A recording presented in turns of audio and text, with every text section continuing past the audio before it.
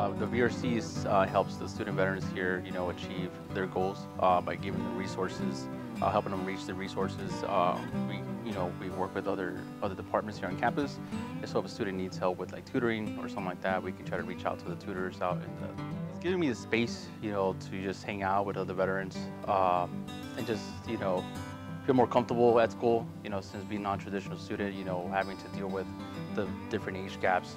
Coming here makes me bond back again, something that, you know, the camaraderie that we missed out once we get out.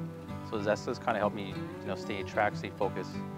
Um, yeah. The Veterans Resource Center is a place located on campus through the USU um, that allows space for veterans to hang out, have resources, and to connect with each other. We are going into the sixth year of the VRC. Um, we just had last year a five-year anniversary where we had a lot of the founding members come back and celebrate and acknowledge how far we've come.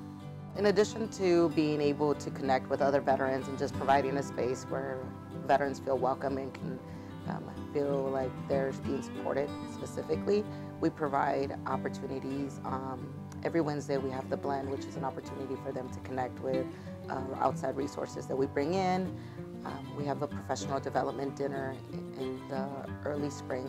Um, we host veterans graduation reception, which is again another opportunity for veterans to come on, um, celebrate with their peers that they've um, finished their goal and accomplished their goal, and to have their family here.